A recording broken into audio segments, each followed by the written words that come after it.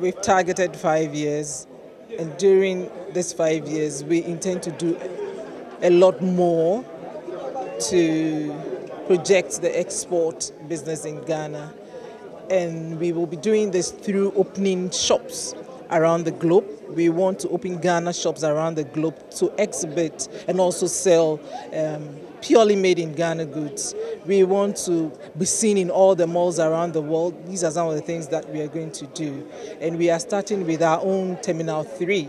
We want to put a Ghana shop there where you find only made in Ghana goods. So basically, these are some of the few things. Also, warehouses where we can aggregate um, products that are leaving Ghana for distribution from other countries outside of Ghana.